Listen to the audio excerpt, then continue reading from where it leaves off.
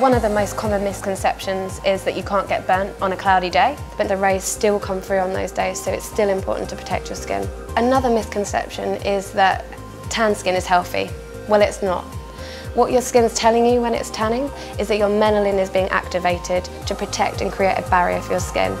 UV light is creating UV damage, so that's taking the suppleness away from the skin, which is causing these wrinkles and fine lines, premature aging.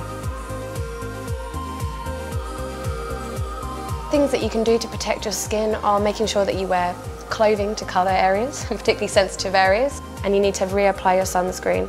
But also making sure you wear things like sunglasses with UV protection, the lovely large floppy hats, and also just making sure you take that little bit of time out from the sun. So going into the shade, particularly between the hours of 11am till 3pm when it's at its strongest.